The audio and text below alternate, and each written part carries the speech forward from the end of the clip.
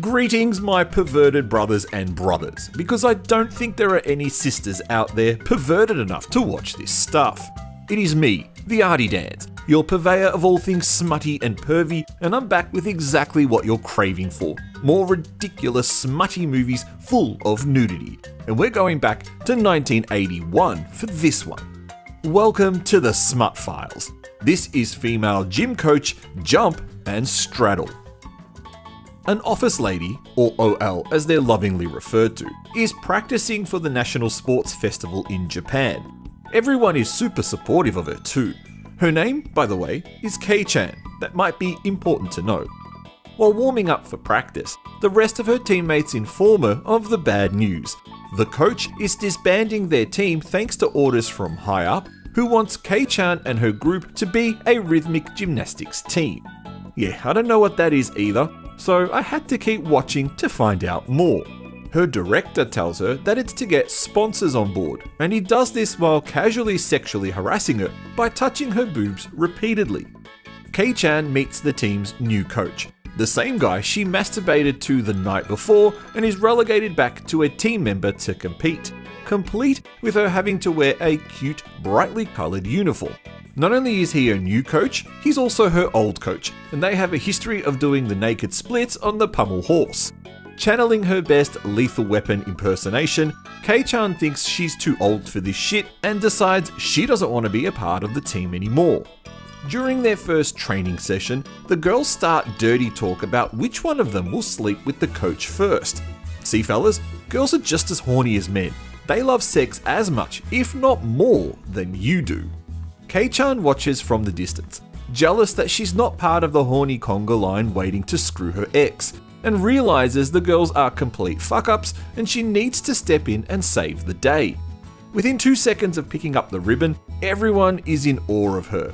But before she can rejoin the team and save the day, she has hate sex with her coach, but he refuses to go all the way with her until she agrees to join the team.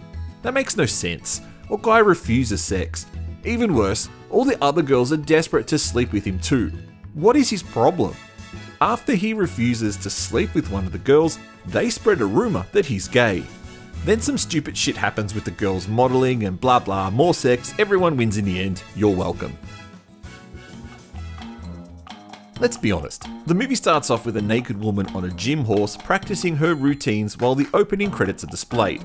Actually, perverts, she's not naked, but that yellow skin tight leotard makes it look like it, right?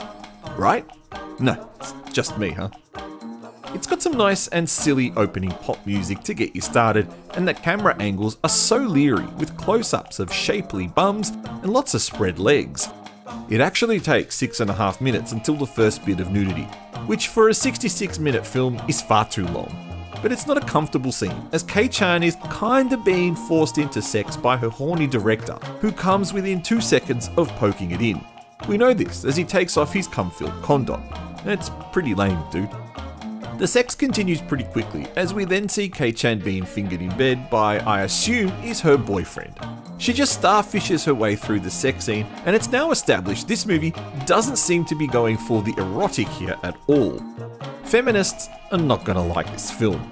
There's a pretty candid talk of poor Kei-chan being over the hill at only 23 years of age.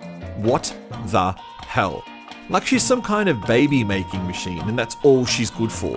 Not only that, but there is a lot of unnecessary face slapping. My biggest takeaway from this film is that in 1981, Japanese women were considered nothing more than just sex toys for horny businessmen. And now that it's 2022, I'm not so sure anything's really changed. I really hope you like looking at women's body parts. Who am I kidding? Of course you do. While I would like to believe this movie offers an insight into female sexuality, I think the overall product is a man's wet dream. Honestly, most guys would kill to have a woman react like this around them, especially when driving one of the girls home results in her stripping off in the car. Seriously, I don't know a single guy who would be able to refuse any of these women, 1980s hairstyles or not. The actor in this film has incredible self control, but maybe not in between takes. One thing's for sure the Japanese know how to make smutty erotic films, it's easy when they have a country full of good looking women. but the story here isn't anything more than an excuse for lots of crazy sexual situations. What I'm not going to tell you more about is the gay sex scene, which is very typical 1980s in a kind of homophobic way that takes a unexpected twist. Strangely, in the end, this movie isn't what you think it's about. The whole gymnastics team thing is pointless. The movie is just about the coach and Kei-chan and their inability to have sex with each other.